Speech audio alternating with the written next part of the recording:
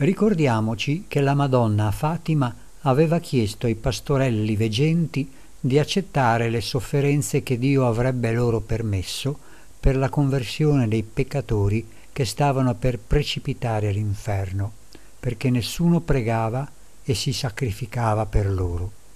I veggenti l'avevano presa sul serio fino alla morte e due di loro sono diventati santi da bambini. Anche noi possiamo offrire tutte le nostre sofferenze per la conversione dei peccatori, non importa quali. È molto importante invece l'intenzione con cui affrontiamo la sofferenza. Soffri di ansia e depressione? Cerca di curarla, ma intanto offrila al Signore ed Egli ti aiuterà a superarla. Hai un dispiacere familiare? Prega il Signore che ti aiuti a risolverlo e nell'attesa offri tutto al Signore e confida in Lui. Ti trovi nella situazione di dover sopportare pazientemente qualche persona molesta in famiglia o sul lavoro? Offri al Signore questo disagio e prega finché quella persona ne prenda consapevolezza e si converta. Hai una malattia fisica o psichica che ti tormenta? Cerca di curarti, ma offri tutto al Signore. Pensa a Gesù quanto ha dovuto soffrire per noi peccatori. Sei costretto a vivere nella castità per vari motivi. Pensa che sei tempio dello Spirito Santo e le tentazioni sono un'occasione per temprarti nella volontà e nello spirito. Ti trovi disoccupato?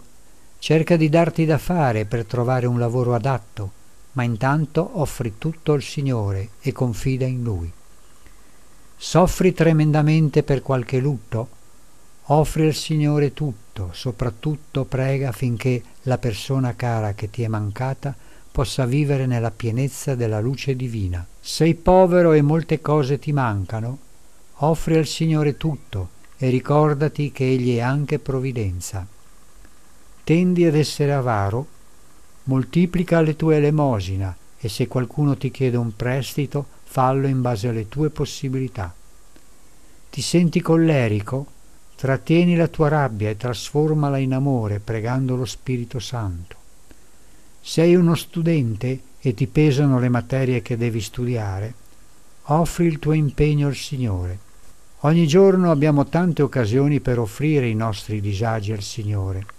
Momenti di noia, di solitudine, di smarrimento interiore nella fede, di nostalgia, di incomprensioni da parte di amici o parenti, di sensazione di insignificanza, di dispiacere per i peccati della vita passata. In questo caso offriamo anche i nostri peccati per cui ci siamo amaramente pentiti. Il Signore li accetta perché ha espiato anche per quelli. Giovani, adulti, anziani, ognuno di noi può collaborare per la salvezza eterna anche degli altri. Dio accetta anche un semplice bicchiere d'acqua dato per amore.